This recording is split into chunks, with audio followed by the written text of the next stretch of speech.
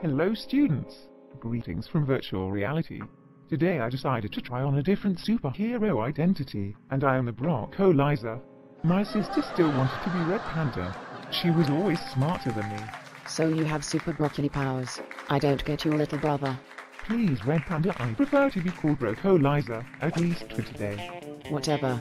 Let's get this show on the road for these nice students out there. They're almost finished with the semester. Yes, we are in a home stretch for sure.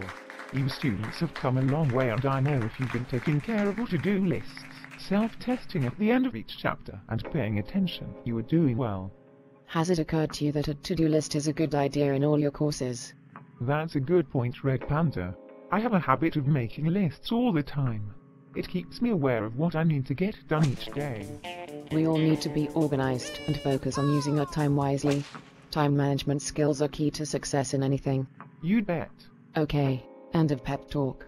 Mr. Franks, I mean, Broccolizer. In this lesson, we are looking at three chapters in our text. The first chapter 19 deals with the effectiveness of policies and programs aimed at preventing or reducing delinquency.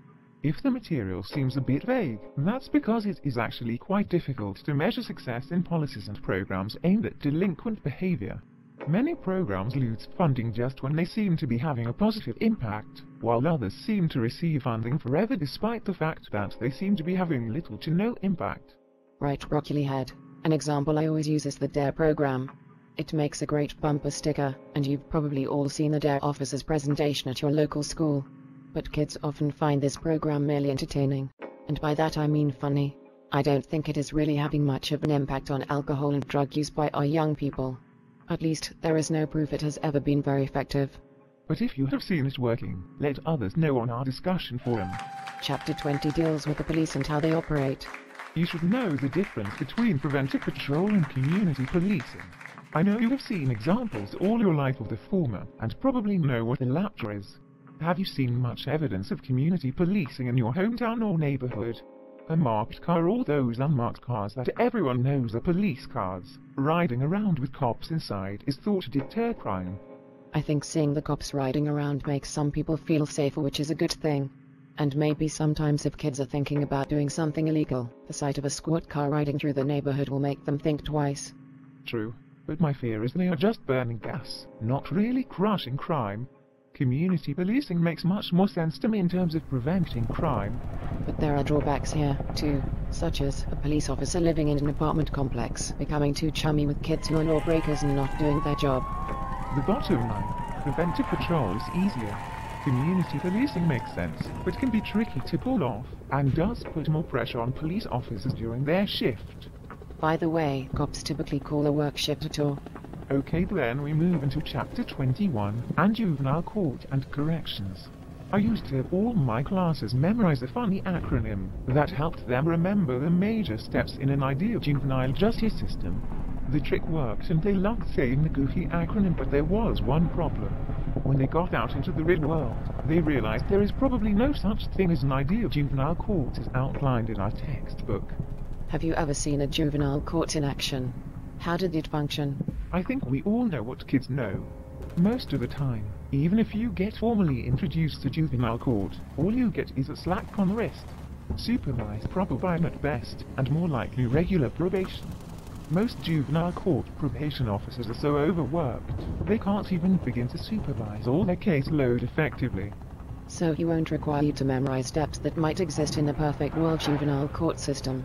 He does want you to know what regular probation is, what intermediate sanctions are, and of course the major goal of any juvenile court. Right, Red Panda. This chapter interests me because of our Supreme Court's decisions in roughly the last quarter of the 20th century and early in the 21st century that impact juvenile court and corrections. Some but not all due process rights that we as adults take for granted, but have been absent in juvenile courts, are now available to juveniles who break that law. Right on broccoli breath. Recently in 2012, the US Supreme Court ruled that no person who was sentenced to life without parole and had committed their crime before their 18th birthday could be held without parole under that sentence. This impacted about 50 inmates in Mississippi, persons who had been sentenced as adults to life without possibility of parole and had committed their crimes before turning 18. The US Supreme Court didn't say they could go free. just that parole had to be an option at some point for them. I assume you know that the US Supreme Court has also recently ruled that no state can sentence a person who committed a crime before turning 18 to the death penalty. I wonder what these students know about the US Supreme Court and juvenile court systems and issues. Do they follow their noses and read outside the textbook very much? They do if they are curious about juvenile justice. Of course they do. Good. That makes me happy. I meet people who don't even know the difference between the Mississippi Supreme Court and the US Supreme Court. That is surprising and sad. We should all know a lot about our systems of justice in America. After all, the information is all at our fingertips. Oh yeah, love me some internet, and the government puts more public information now than ever. I'll bet these students read about different aspects of the justice systems we have all the time. I hope you're right, Red Panda. One thing I hope they are aware of is that Mississippi has a long and ugly history with training schools and juvenile corrections. They need to know what a training school is and a boot camp, and wilderness or outdoor programs. Wow, this should be a very lively discussion forum. If these super students can read about all these different ways juveniles have been and are treated in what's called juvenile corrections, and not have opinions on what they're reading, I'll be shocked. Never fear, Red Panda. These students are very bright and very curious. And that brings us to... The end of this mini lecture. Already? Yes, we're near the finish line in the course, and time has flown by faster than Broccoli Man can say, or you can eat salad fog. Okay, well there's that. I hope they will keep doing their best, and taking care of those to-do lists in each lesson. Until next time, have fun and please be safe. A lot of people care about you. That's true. We hope none of them drink and drive, or text and drive. That would be foolish and dangerous. Not fun nor safe. Peace out, super students.